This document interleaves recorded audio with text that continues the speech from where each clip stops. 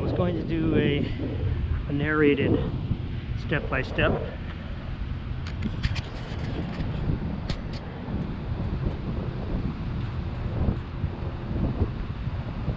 God, what a lovely day. So here's a point of view tutorial, tutorial for a uh, 20 inch path with homemade chalk transition pattern. I'm going to pace off 10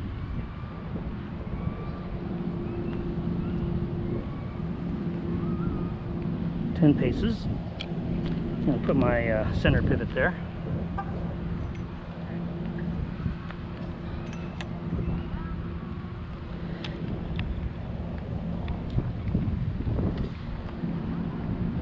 And then I'll cue on the towers there. About a path width or so back from the center. Start drawing the entry to the center. About two or, two or three path widths long. And then I'm going to do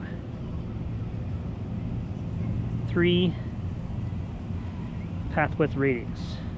There's two, there's three, winding up on the line. Put the right tine there. My knuckle on the pivot and drag the first circle.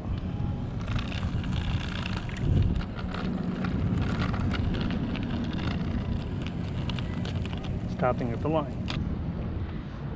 So I'm to bring this down about a path width below the center circle.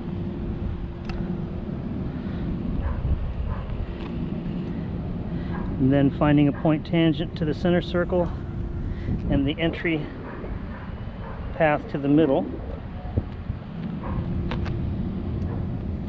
Pivot on the left tine in line with the center 180 degrees.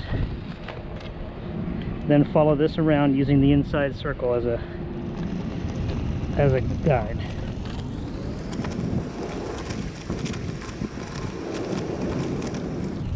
going to stop about a path width and a half away from the line.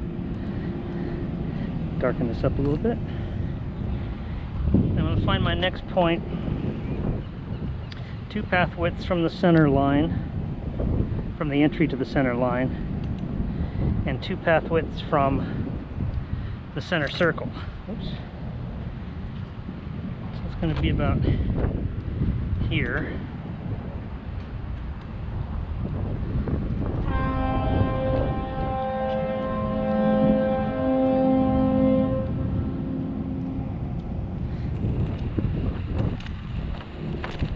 And do another 180 and then continue this around using the previous line.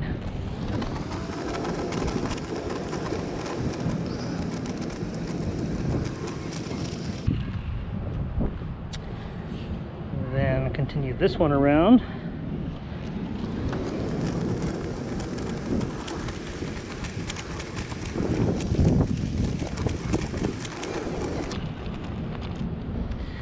then center circuit out to the fourth circuit.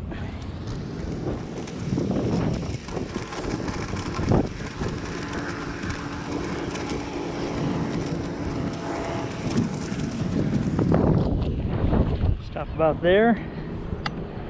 I have four path widths. I need five more. So I'm gonna space it out. There's one two three, four, five. Retrieve my pivot.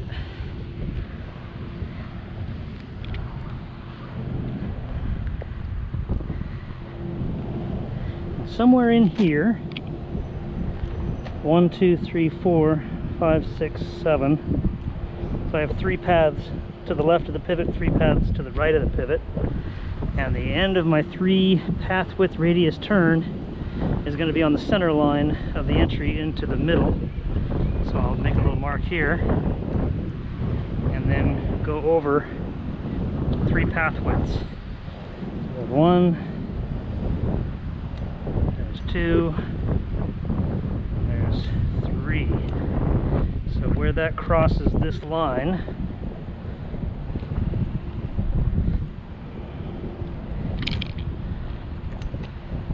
that is going to be where my pivot goes. It's about there. Ballpark, close enough. So I'll set my pivot in there. Place the chalk on this line. And if I've measured correctly, I should wind up hitting that line over there.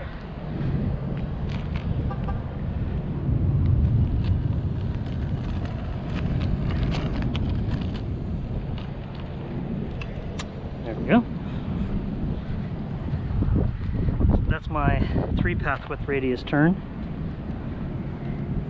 I'm going to make the inside of that.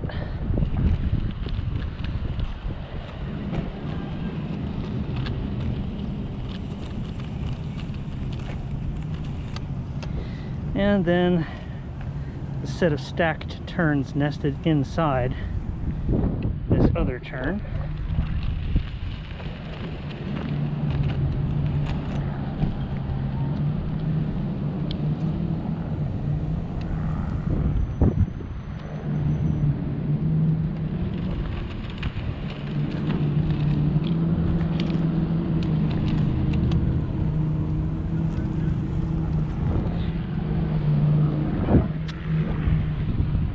Done with the uh, pivot. So same thing here. To complete the other part of my diamond is going to be the entry path into the labyrinth. So I'm going to continue this one, two,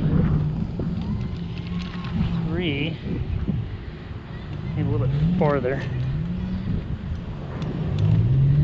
I want this third line to stop three path widths from here. It's going to be another three path width radius turn. So I've got one, two, three. I need to get to here.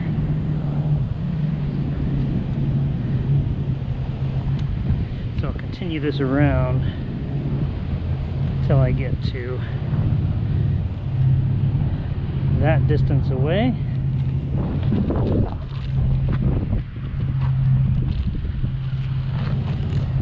And then make another pivot followed by a two path width radius turn.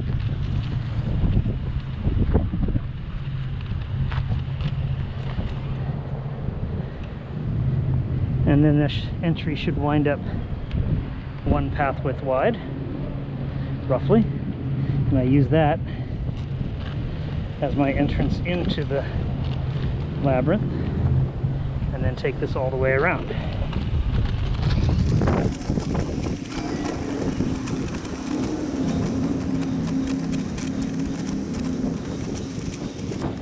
Now the transition labyrinth has one labyrinth at the top in line with the point of the bottom of the diamond shape there through the center of the entry into the middle. And then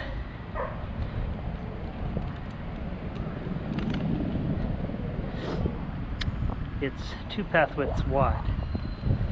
So um, there's the center line there's the edge of the one labyrinth there's the edge of the other labyrinth and then I'm going to pivot one path width away from here.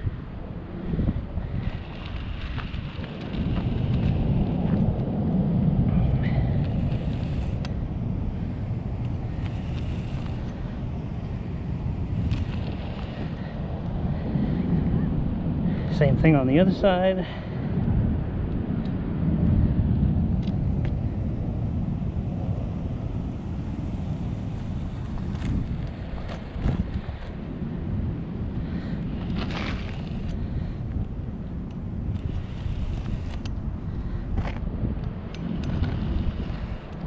and then I've got to eyeball this to connect this path across the top of this longer Labrys, so I'll make myself some reference points that I can hit as I'm kind of going cross country.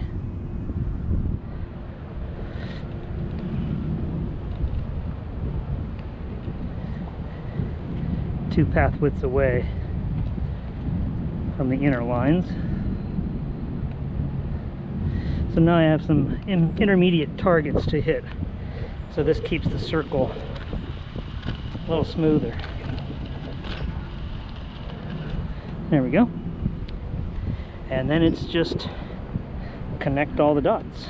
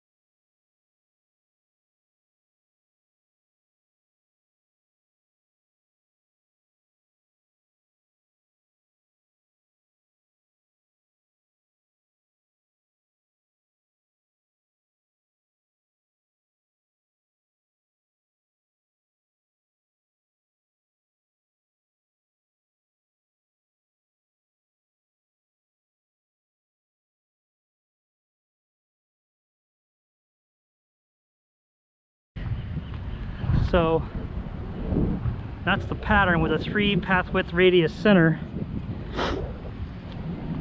Five petals fit inside.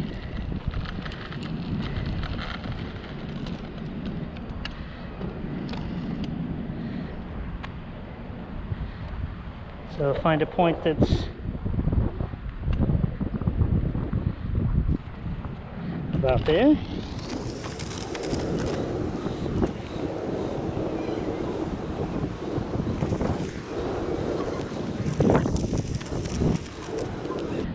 One down the center.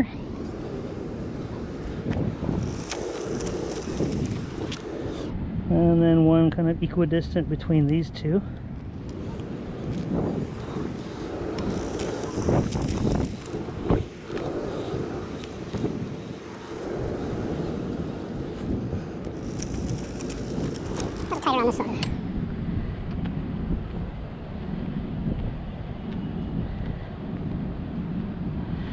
And then so that people get the idea that they're supposed to walk it, I usually write enter down here.